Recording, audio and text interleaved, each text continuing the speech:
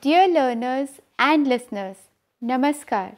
I am Dr. Shweta and today we are going to continue our discussion on how psychologists study part 3.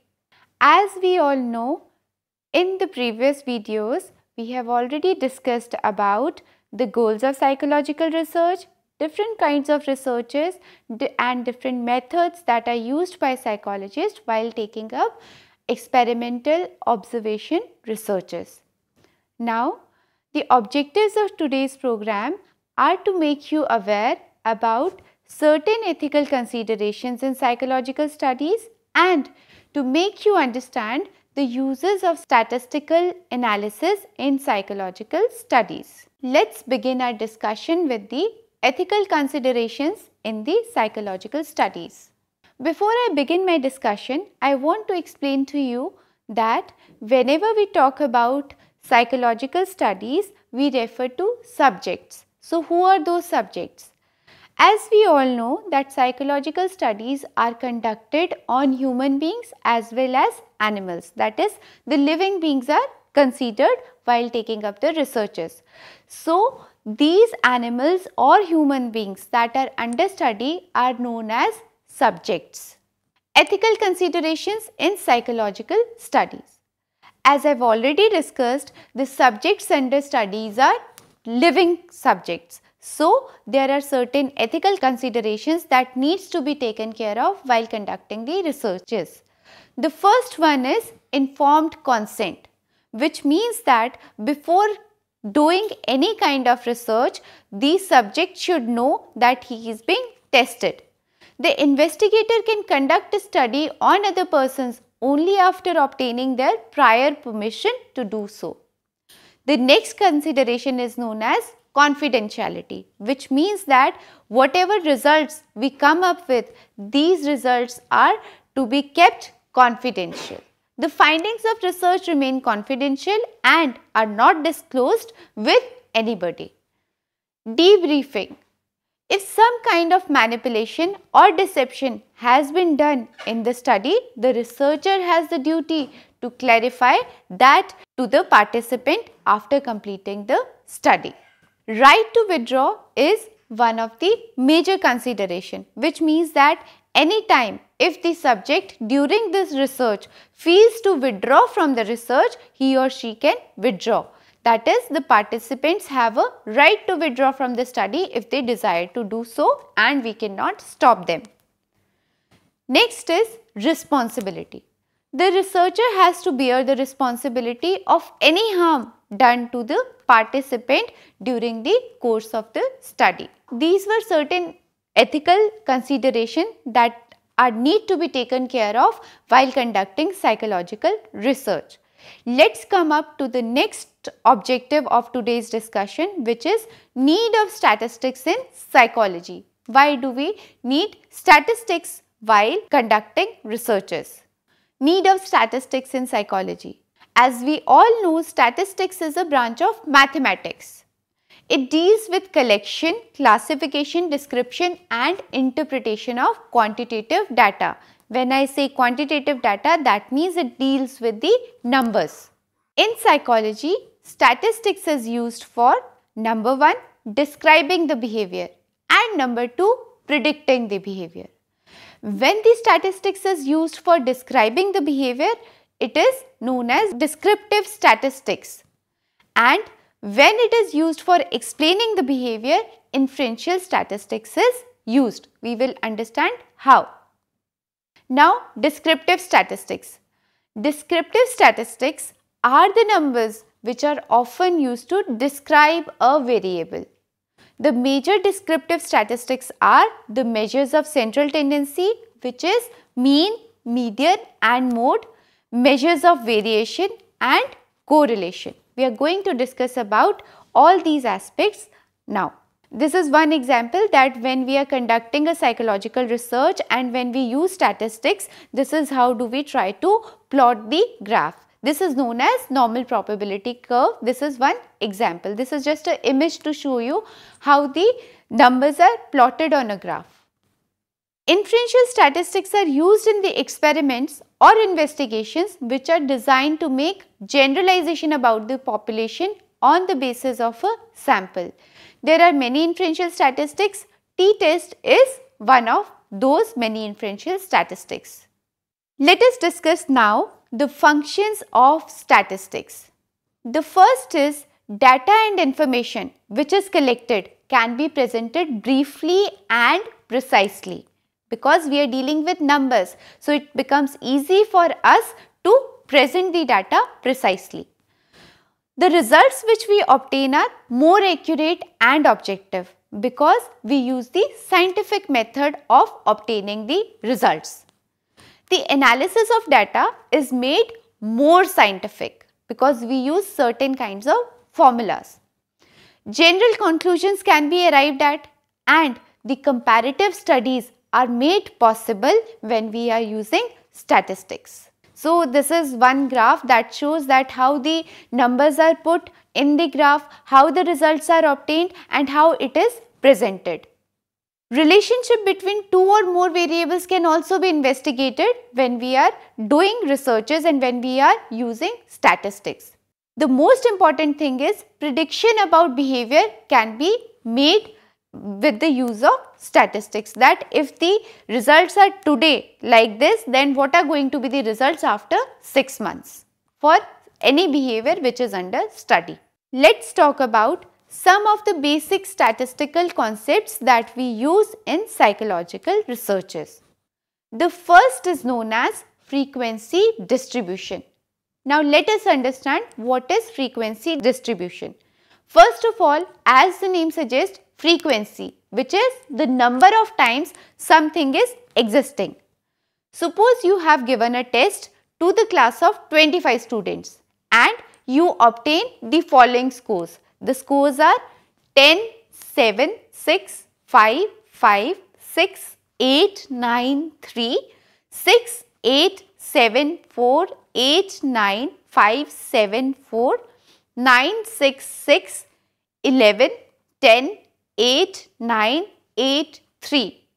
Now, in the above distribution of scores, the highest score as we all can see is 11 and the lowest score is 3. Thus, the entire group has scored in between these two limits which is 11 and 3. Now, the above data can be presented in the form of table where the scores and frequency of their occurrences are shown. The table shows that maximum numbers of students are in the score range of 6 and 8. See, I have put this picture here so that you can understand that what is frequency in the first uh, ball here all the colored balls are existing in the same quantity which is 2 percent, 2 percent, 2 percent, 2 percent. The blue ball is existing 2 percent of the time, the yellow ball is existing 2 percent of the time as well as the green, pink and red ball. In the second distribution we can say that the blue ball is existing maximum number of times and in the last we can see that the red ball is existing maximum number of times. This is the frequency of something to be existing at a particular situation. Now, as we were talking about uh, the uh, last example where I uh, talked about certain numbers, now how do we put those numbers in graphs? In order to put those numbers in graphs, we use a tally mark. A tally mark is same as the Roman 1. It is used for one score and tallies are done in a duster of 5 scores. I will show you in the next table. When I say that tallies are done in a duster of 5 scores, the fifth tally mark cuts the first 4 tallies with a slotting line. These clusters helps us in counting large numbers. In this slide, you can see that how the distribution is put in the form of table. I have put the numbers again here so that you can understand that how do we use graphs to represent the numbers. If we have a look at number 3, we see that there are two tallies in front of number 3. That means on looking above, we can see that number 3 is existing two times. That means two tallies are there to represent number 3. Same is for number 4. Number 5 is existing 3 times. So, we are putting 3 tallies. Now, let's talk about number 6. When we count on the distribution of scores, we find that number 6 is existing 5 times. That means 6 here, 6 to second time, third, fourth and fifth. When I was explaining you that how tallies are put, I said that tallies are put in the form of 5 tallies. The 4 tallies are in the form of vertical lines and the fifth tally crosses the 4 lines. So, in order to represent the frequency of number 6, we are putting 4 vertical bars and the fifth bar in the form of slanting line. That means number 6 is existing 5 times in this frequency distribution. You can check for others scores as well. So, this is how in order to make a frequency distribution table, we are taking the help of tallies. Methods which are used to summarize the characteristics of data are called the measures of central tendency. We are going to discuss all these measures in the next slides. These are the measures that depict the tendency of the distribution of scores that how the scores are distribution in a particular phenomena. The first is known as mean. Now first we should know what do we mean by mean. Mean is the most popular and important measures of central tendency. It is also known as the arithmetic mean. It provides the basis for calculating other statistics like standard deviation and correlation and also describes the summary characteristics of the variables measured. Let us understand how. For instance, you must have noticed that whenever we are watching a cricket series and it is played, people stick to their TV sets. Why?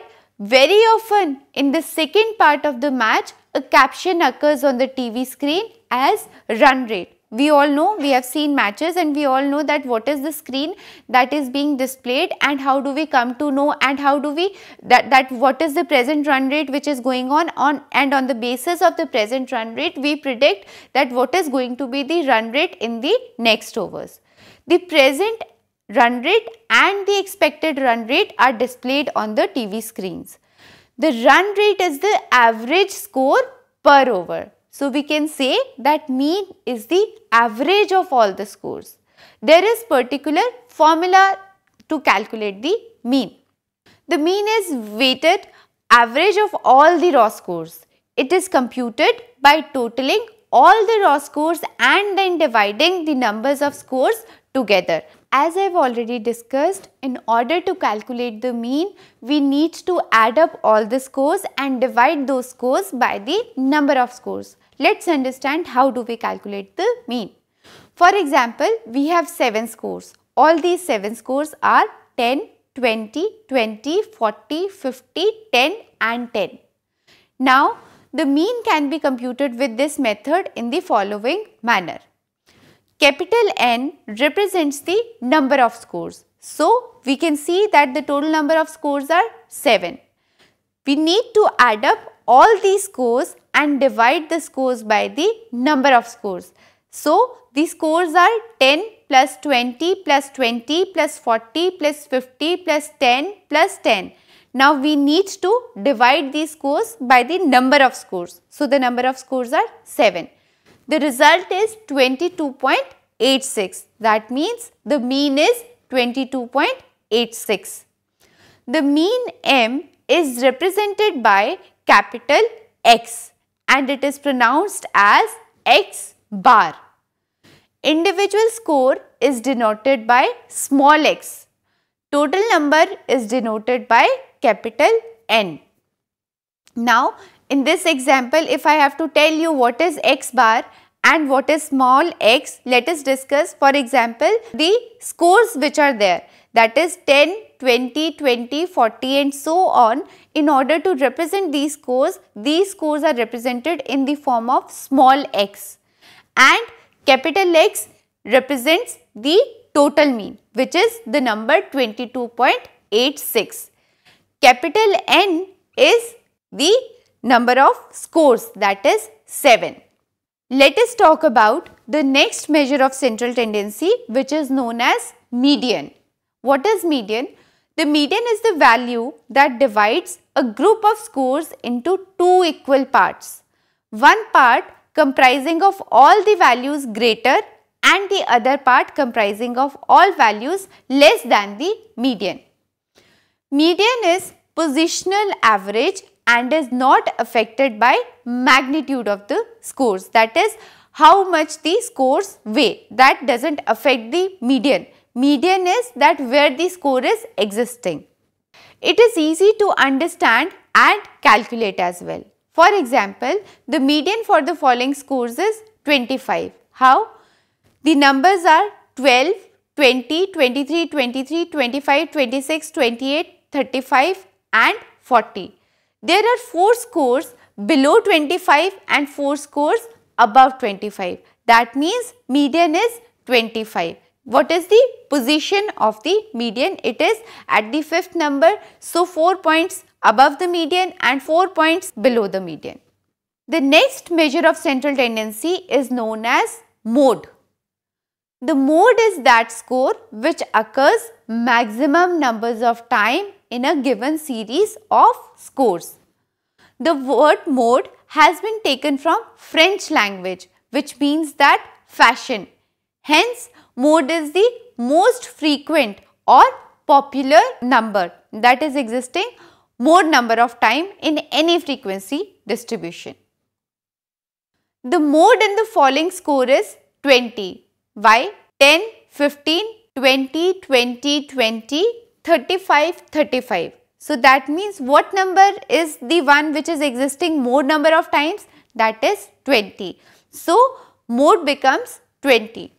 It is easiest to calculate. Mode is frequently used in business, in weather prediction and in fashion etc. Because we just want to know that what is the trend of something that is going on today or in a present situation.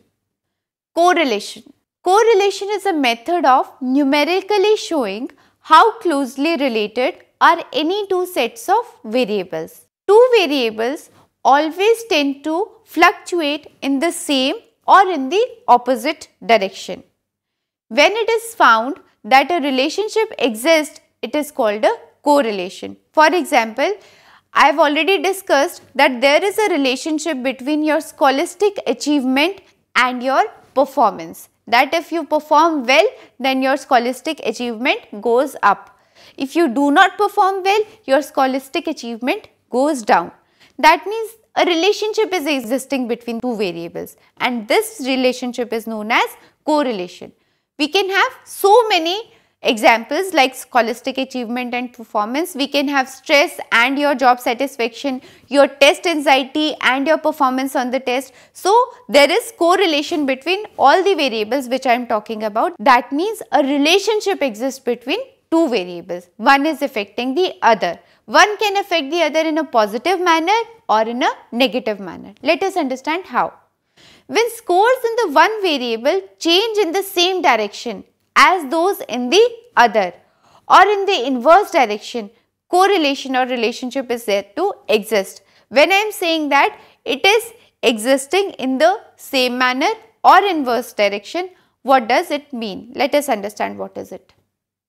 The score through which the psychologist express the relationship between two variables is called the coefficient of correlation.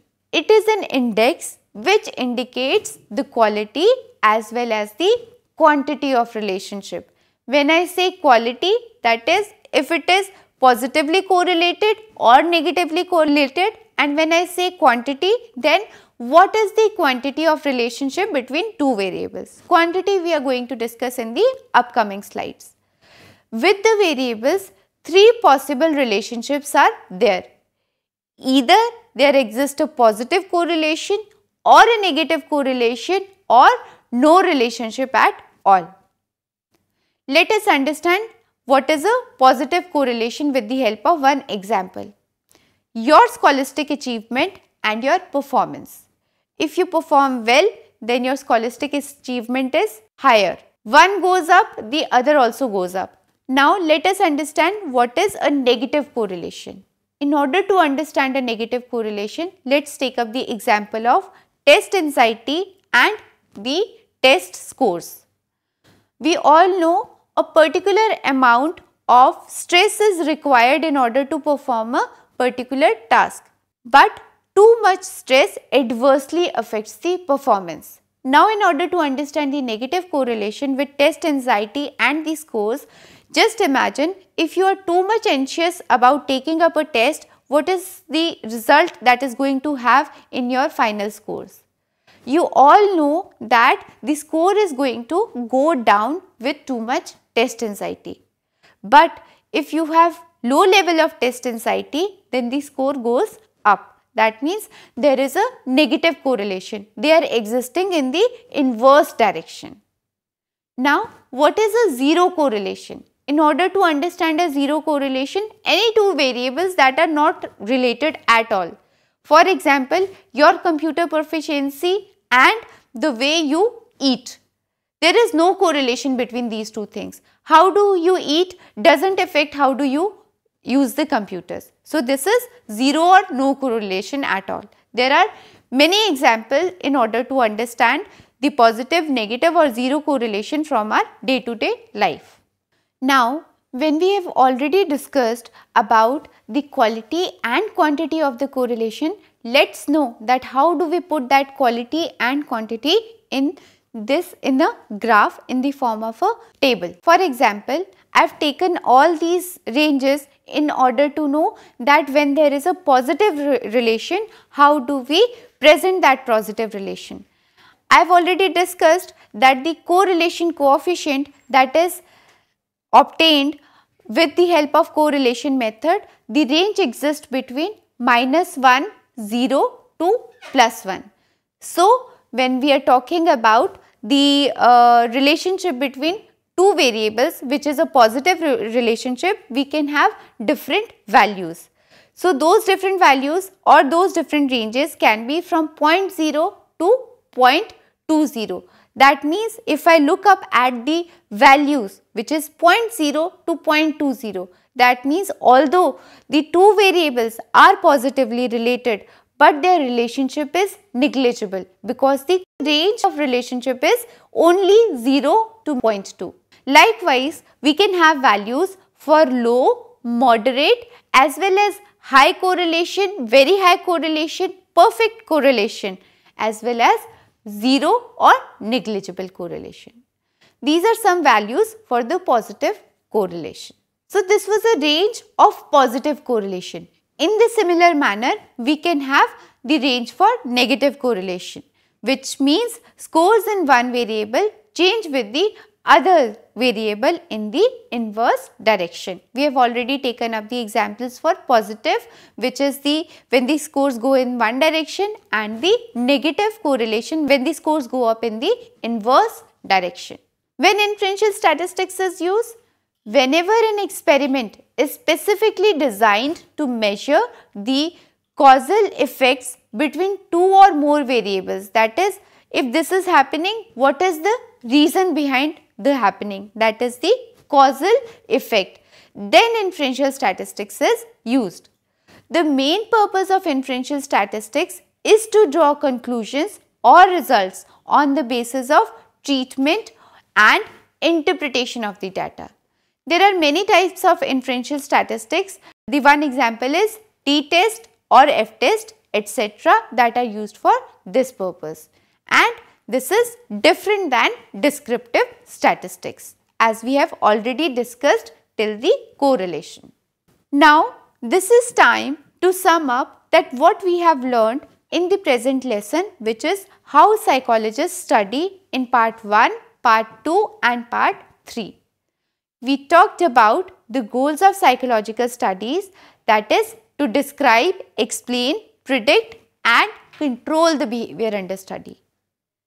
We also talked about the different kinds of researches which is basic research and applied research. That is basic research is dealing with developing theories whereas applied research deals with problem solving. That is how to apply the knowledge in solving the problems. We also talked about different methods. First is experiment helps us to find the cause and effect relationship between two variables. It is the observation under controlled conditions. That is uh, most of the time it is conducted under the laboratory conditions. An experiment has various parts.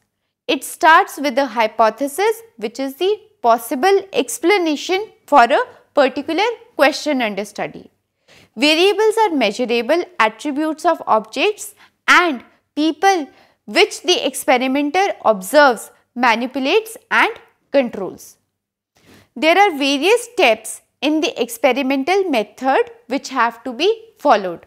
These are stating the problem, forming of hypothesis, sampling, designing of the study, material, controls, instructions, results, discussions and generalizations. That is whenever we conduct a study, this is the procedure that we follow.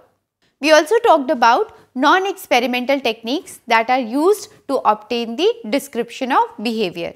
Some of the techniques are observation, survey, case study, introspection, correlation, etc. The psychological tools include the questionnaire and interview, psychometric test as well as the projective techniques. Statistics is used by the psychologist to judge the significance of research results. It is of two types which is descriptive and inferential statistics. And we all have already discussed that the descriptive statistics deal with summarizing the data and inferential statistics deal with drawing conclusions about population on the basis of sample. Statistical methods which are used to summarize the characteristics of data are called measures of central tendency and include mean, median, mode and correlation and are frequently used as descriptive statistics or are frequently known as descriptive statistics. With this, I end up for today's discussion. Thank you.